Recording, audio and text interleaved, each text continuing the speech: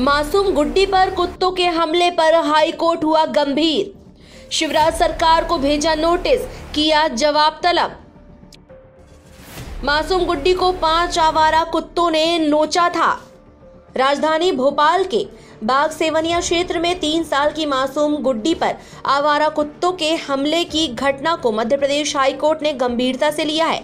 High court ने घटना पर स्वतः संज्ञान यानी सुओ मोटो में लेते हुए एक जनहित याचिका के तहत इसकी सुनवाई की और राज्य के मुख्य सचिव भोपाल कलेक्टर, नगर निगम कमिश्नर को नोटिस जारी कर चार हफ्तों में जवाब तलब किया है।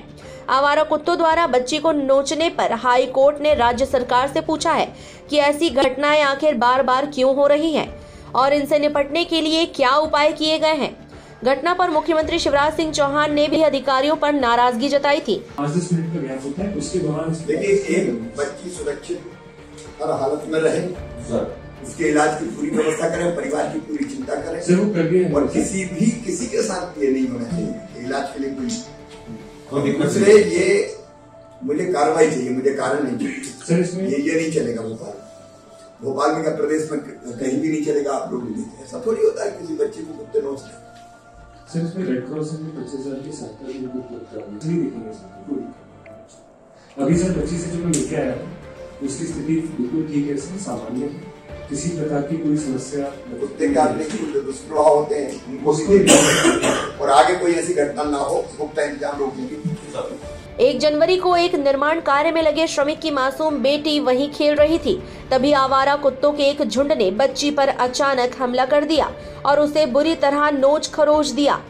कुत्तों के हमले में बच्ची को सिर, कान और हाथ में गहरे जख्म हो गए। बच्ची के शरीर में कई जगह चोट भी लगी है। टाइम एट मध्य प्रदेश के लिए ब्यूरो रिपोर्ट। मैं हूँ सीमा वर्मा और आप देख रहे हैं time at Madhya Pradesh. Time at Madhya Pradesh आपका अपना चैनल है। अब तक चैनल को सब्सक्राइब नहीं किया हो तो चैनल को सब्सक्राइब कर लें, लाइक करें, फॉलो करें और शेयर करना बिल्कुल ना भूलें। मासूम गुड्डी पर कुत्तों के हमले पर हाईकोर्ट हुआ गंभीर। शिवराज सरकार को भेजा नोटिस, किया जवाब तलब। मासूम गुड्डी को पाँच आवारा कुत्तों ने नोचा था।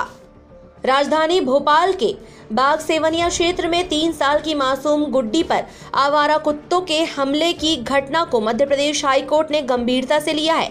हाईकोर्ट ने घटना पर स्वतः संज्ञान यानी सुओ मोटो में लेते हुए एक जनहित याचिका के तहत इसकी सुनवाई की और राज्य के मुख्य सचिव भोपाल कलेक्टर, नगर निगम कमिश्नर को नोटिस जारी कर चार हफ्तों में जवाब तलब किया है।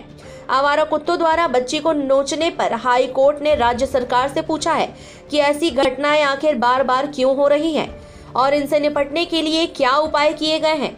घटना पर मुख्यमंत्री शिवराज सिंह चौहान ने भी अधिकारियों पर नाराज़गी जताई थी। है उसके दौरान एक बच्ची सुरक्षित हर हालत में रहे उसके इलाज की पूरी व्यवस्था करें परिवार की पूरी चिंता करें। और किसी भी किसी के साथ ये नहीं होना चाहिए इलाज के लिए कोई दिक्कत दूसरे ये मुझे कार्रवाई चाहिए मुझे कारण नहीं चाहिए। ये ये नहीं चलेगा भोपाल।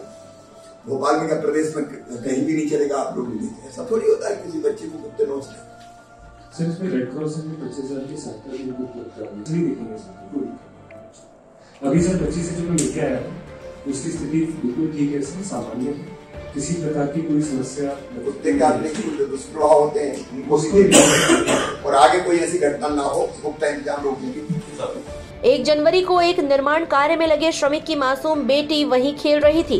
तभी आवारा कुत्तों के एक झुंड ने बच्ची पर अचानक हमला कर दिया और उसे बुरी तरह नोच खरोच दिया। कुत्तों के हमले में बच्ची को सिर कान और हाथ में गहरे जख्म हो गए। बच्ची के शरीर में कई जगह चोट भी लगी है। टाइम एट मध्य प्रदेश के लिए ब्यूरो रिपोर्ट। मैं हूँ सीमा वर्मा और आप देख रहे हैं time at Madhya Pradesh.